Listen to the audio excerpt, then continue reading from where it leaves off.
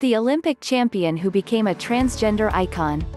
Caitlyn Jenner attends the 28th annual Elton John AIDS Foundation Academy Awards viewing party on February 9, 2020 in West Hollywood, California.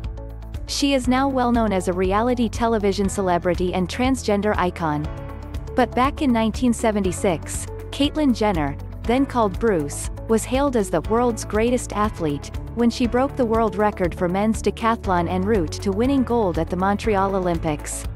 For those who know Jenner only through her reality TV role in Keeping Up with the Kardashians, it would have been hard to picture her as a talented male athlete with matinee idol good looks, as she became the star of the games with a stunning all-around performance in one of track and field's most grueling events.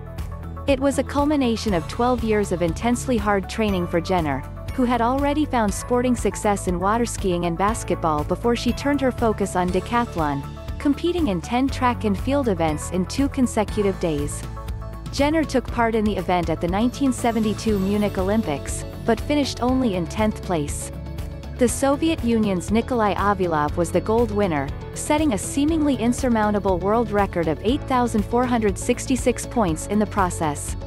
Yet after the competition, Jenner reportedly walked up to Avilov, looked him in the eye, and said, Next time, I'm going to beat you. Non-traditional route to success. To meet that goal, Jenner hit upon a winning formula in her preparation. Instead of the traditional method of training with fellow decathletes, Jenner instead trained with some of the world's best athletes in each of the 10 events. If you train with a decathlon man, you can't visualize that you can do much better, Jenner once told New York Times.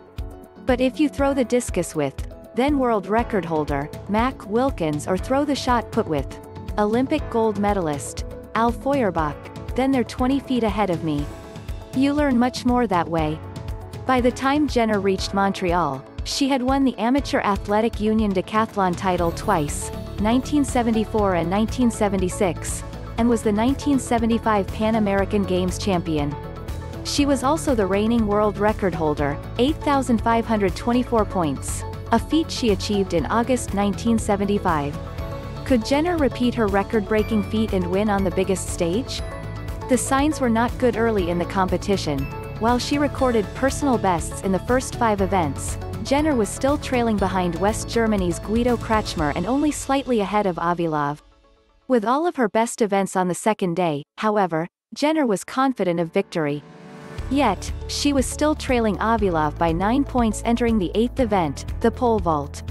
In her last 13 decathlon competitions, Jenner had lost just once, and that was due to a failure in clearing a height in the pole vault. Yet, Jenner cleared 4.7 meters, better than both Avilov and Kratschmer, and swept into the lead.